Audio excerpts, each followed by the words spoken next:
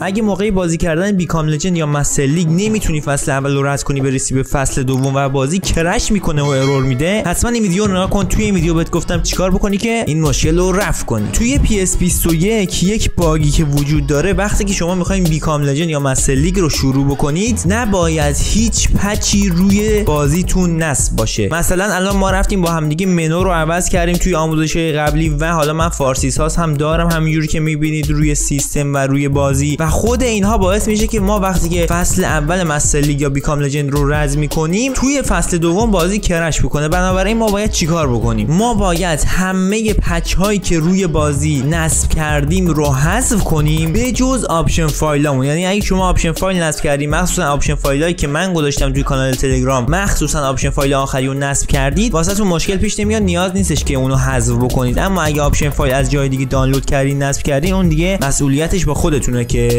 میشه که آیا این خطا رو رفع کرد یا نه. پس الان کاری که ما باید بکنیم بریم که patch هامون رو حذف کنیم. چجوری باید این کار رو بکنیم؟ پس ما کاری که می‌کنیم باید بیایم اول بازی رو ببندیم بعدش بریم توی فایل نصب کننده که این هم بهتون توی سری ویدیوهای قبلی توی سه چهار تا از ویدیوهام بهتون کاملا توضیح دادم که این چیه و چجوری کار می‌کنه و باید باش چیکار بکنید. پس اینجا که می‌بینید کلی ما فایل داریم. این فایل های قرمز data pack هاتون هستن. این فایل های سیاه فایل هایی هستن که شما خودتون اضافه بر data pack هاتون اضافه می‌کنید. مثلا اینجا من scoreboard رو اضافه کردم اینجا منو رو اضافه کردم. تیک همه این مشکی ها رو باید وردارید. هر چی اینجا فایل مشکی رنگ داریم باید تیکش رو وردارید و فقط و فقط تیک قرمز ها باید روشن باشه. بعدش بیان generate رو بزنید. بعدش یه پیام موفقیت آمیز بهتون میده. OK رو می‌زنید. generate این فایل generator رو میاریم پایین. حالا وقتش که بازی رو باز کنیم. خب الان فارسی سازمون منومون و هر چی که اضافه کرده بودیم به بازی رفته و الان نسخه خود اصلی بازیه. شما الان با همین اوضاع می‌تونید هم Become Legend تون رو ادامه بدید هم Master League تون رو. اگر می‌خواین که در حین اینکه می‌خواین Master League بازی کنید یا Become Legend بازی کنید patch هم داشته باشید باید چیکار بکنید؟ الان بهتون میگم. واسه Master League و Become Legend دقیقا مثل همه. فقط ما الان میریم یکی شما انجام می‌دید اون یکی هم می‌تونید خودتون انجام بدید مثلا من میرم توی Master League یه دونه new می‌زنم شما هم باید دقیقا همین کار بکنید. یه دونه new بزنید حالا هر